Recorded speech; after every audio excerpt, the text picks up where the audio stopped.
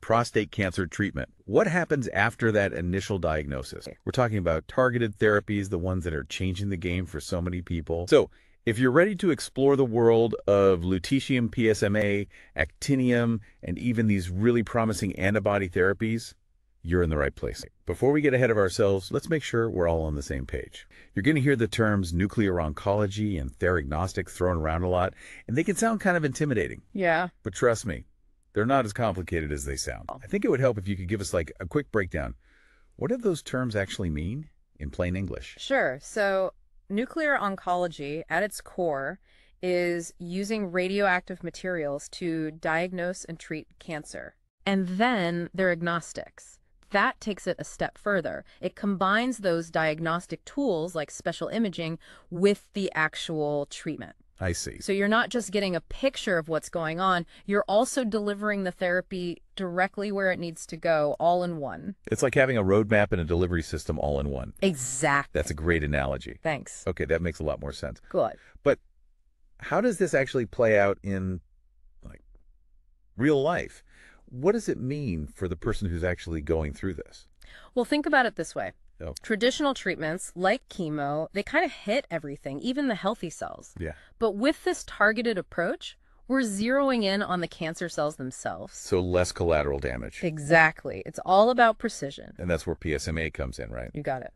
Prostate-specific membrane antigen. Yes. It's like putting a giant target right on those prostate cancer cells. Exactly. And we're getting better and better at developing these like super precise molecules that act like guided missiles, Mm. Going straight for that target. That's a great way to put it. I try. So one of those guided missiles that we've heard a lot about is lutetium PSMA, also called Lu-177, or sometimes Pluvicto. Right. It's been around for a bit now, since 2015, so we're starting to get a pretty good picture of what it can do. We are. And what should people expect, realistically, if they're considering this treatment? So basically, about a third of patients, they see incredible results, like a dramatic shrinkage of the tumor. Wow, that's amazing. It is. Then you have another third who sees some benefit, maybe their disease stabilizes. Okay. And then unfortunately, there's that final third who don't respond as well as we'd hoped. I And a lot of that variation comes down to individual factors, how aggressive the tumor is, how quickly their PSA is doubling, things like that. that makes sense. Even the stage of the cancer and where it's spread can make a difference. So it's not as simple as here's the treatment, everyone will have the same outcome, Right. It's really about personalized medicine. which is what we're all about. Yes, exactly. So if someone out there is thinking about Lu-177, they should definitely have a very open, honest conversation with their doctor. Absolutely. That's crucial.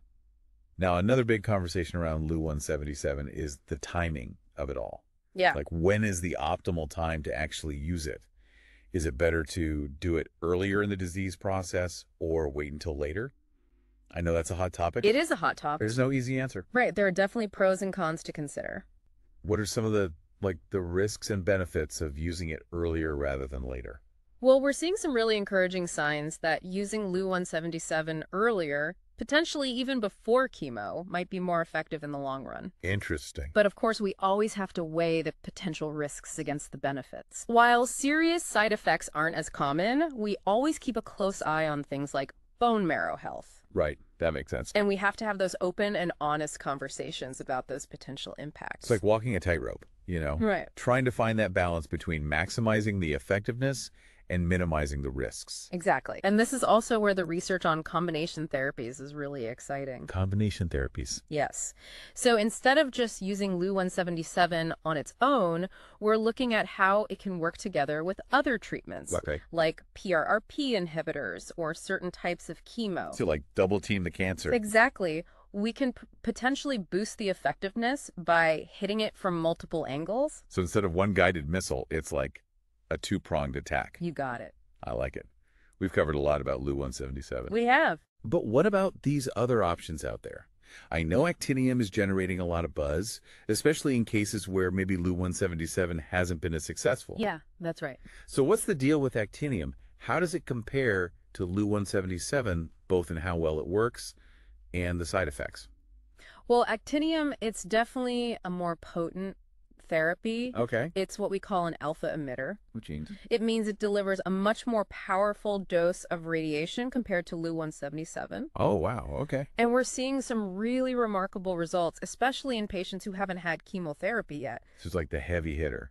You could say that. But with great power comes great responsibility, right? Exactly. What about the side effects? Are we talking about a whole different ballgame with actinium? Well, because it's more potent, we do have to be extra cautious, Of course. particularly when it comes to things like salivary gland function and kidney function. Okay, so those are areas to watch out for. Yes, definitely something to monitor closely. It's all about finding that sweet spot, right? Absolutely. Maximizing the impact on the cancer cells while minimizing anything unwanted happening in your body. Precisely. A delicate balance, for sure. It is. And I know there's another one on the horizon. We've heard whispers about lead 212. Yes. It's like the new kid on the block. It is. What's the latest there? Is that something that's ready for prime time or is it still early days? It's still pretty early in the research phase for prostate cancer. Okay. It is another type of alpha emitter, though, Interesting. but it has some unique properties that make it really promising. So lots of potential avenues to explore. Absolutely. There's so much more to explore, especially when it comes to this whole new wave of antibody therapies. Oh, definitely. Now those those are exciting. And that's exactly where we're headed next. Can't wait. Antibody therapies, they really are like the next generation of targeted treatment, like we were talking about with those guided missiles, but even more precise. Okay, so I get that they're promising, but how do they actually work? We were talking about radioactive materials before. Is that still the case with antibodies? So think of antibodies like um like a key searching for its lock. But in this case, the lock is a specific target on a cancer cell. Each antibody is designed to find and attach to that target, and that's where it does its work. Interesting. So it's not just about delivering radiation, it's about finding the exact right cells to deliver it to. Exactly. And because antibodies can circulate in your system for a longer time compared to some other therapies, we can potentially use higher doses of radiation without causing as much damage to healthy cells. So more bang for your buck, but with less collateral damage. You got it. It's all about maximizing the impact on a cancer while minimizing the impact on you. And I imagine that's where the side effects come in. Of course, every treatment has potential side effects, and with antibodies, we always keep a close eye on bone marrow health. Makes sense since we're still talking about radiation here. Exactly. But the good news is antibodies are generally well tolerated. That's reassuring to hear. And we monitor everything closely with regular blood work just to be safe. Always better to be safe than sorry. Now, this is all very promising, but where are we at right now with antibody therapies for prostate cancer? Are these treatments that are available now, or are we talking about something for the future? Right now, we're in a really exciting phase of research. There are a number of antibody therapies in clinical trials. Okay, so it's still being studied, but promising enough to be in trials. Exactly. One of the trials that I think is particularly interesting is using lutetium labeled antibodies. We'll be watching that closely. Now, before we move on, I want to make sure we address something that I know is on a lot of people's minds PSMA negative prostate cancer. Right, of course. For a while there, it seemed like if you didn't have that PSMA target, targeted therapies were kind of off the table. Yeah, that was a challenge for a while, but the good news is research is moving beyond PSMA. So there's hope for those patients. Absolutely. We're finding new targets all the time. For example, there's something called bombesin. Bombesin? That's a new one. It's also known as the gastrin-releasing peptide receptor, and it's found on some PSMA negative prostate cancer cells. Okay, so it's like a different kind of target. Exactly.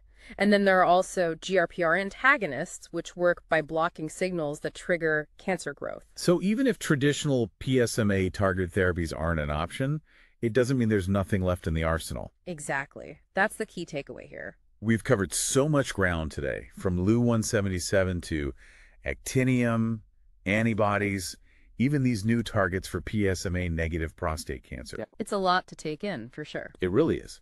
But if there's one thing I want listeners to walk away from this conversation with, it's that the future of prostate cancer treatment is all about personalization.